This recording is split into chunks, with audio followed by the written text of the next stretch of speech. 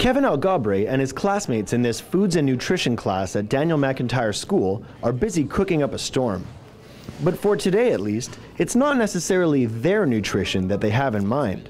Well, we made uh, dog treats for uh, dogs, obviously, and uh, it was really fun helping out the community, you know, for the dogs. Yeah.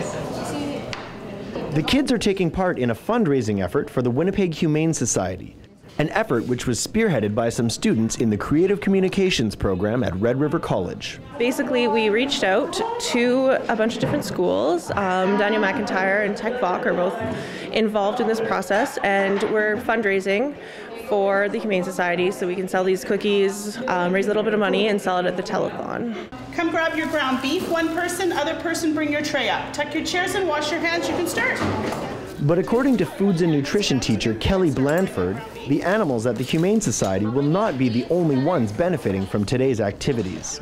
I think the younger you start where kids make contributions in the community, the more they feel attached to the community and a part of their community. And certainly we want in schools and public schools to kids to feel like they're citizens and, and they're part of that, not just the adults are, are doing everything. And uh, uh, I think that, that this gives them that opportunity to do that. And if Kevin is any indication, then activities like this one seem to be working.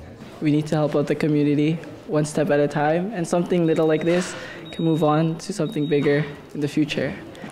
For more information about how you can get your paws on some of these delicious treats, email the address on your screen. They're only $3 a bag and they go to a great cause. Plus, Kevin, they're delicious, right? Yes, they All right, let's give it a shot. For Go Winnipeg, I'm Jay Williams. Mmm. delicious.